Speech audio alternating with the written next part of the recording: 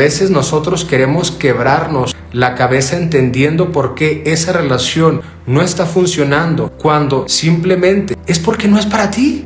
Porque si fuera para ti las cosas fluirían y fluirían de la manera correcta. Hay relaciones en las cuales tú puedes sentir que no encajas, que por más que te haga chiquito, chiquita o bolita, no encajas que simplemente puedes llegar a esta expresión. Esta relación no va para más. Hoy quiero decirte algo por parte de Dios y es que no vas a florecer si te sigues quedando en tierra que no es fértil, en lugares y con personas que no te valoran, que no saben apreciar lo hermoso que Dios ha puesto en ti. Y para poder florecer necesitas decirles a Dios. En el momento que aprendas a soltar algo que ya no es de bendición para tu vida, en ese momento se genera un espacio para que puedas recibir nuevas bendiciones. Va a haber personas que van a empezar este viaje contigo, pero no lo van a terminar. Y en ese camino algunas personas se van a tener que bajar para darle espacio a que las personas correctas se puedan subir y te acerquen a ese plan que Dios tiene para ti.